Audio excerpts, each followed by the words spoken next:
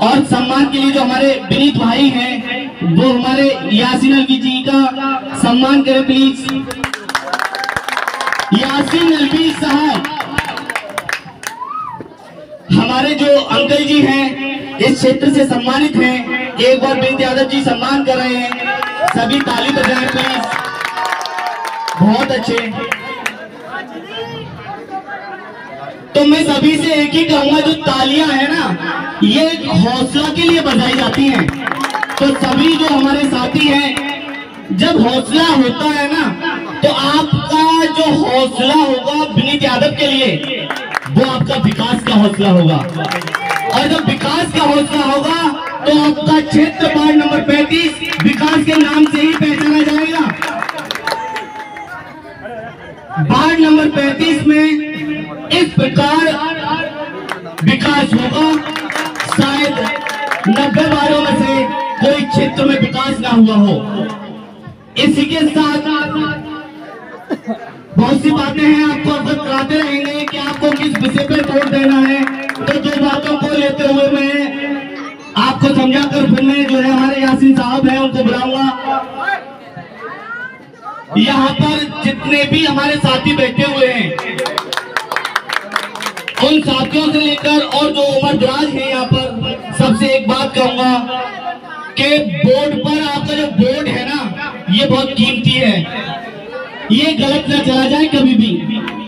केवल इस बात को आपने अगर गांठ बाँध ली तो विकास आपके हाथ में है। जब आप गलती कर देते हो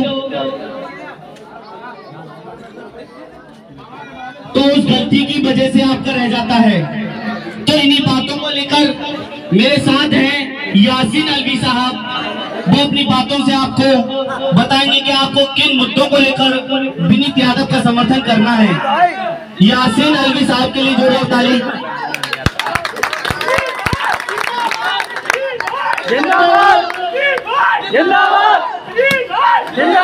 बहुत बहुत शुक्रिया। मेरे छोटे भाई जनाब रईस अहमद साहब, संचालन करता भैया मैं क्योंकि चुनाव का दौर हो चुका है। तो मुझे कई जगह कहना में बुलाया गया है। आज भी मेरा गला पड़ा हुआ है। आज भी कहना मैं कई जगह मैं आज गया था। लेकिन एक प्यार और एक मोहब्बत विनीत की।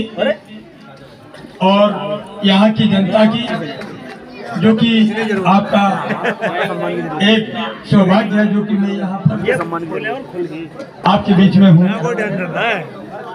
मैं सभी अपने साथियों को आज मंच द्वारा अस्सलाम वालेकुम। और छोटों को प्यार देखिए मीटिंग का आगाज़ जब किया जाता है तो उसका उसूल होता है कि मंच पर जो भी बड़े होते हैं तो उनको संचालन के लिए और सदर के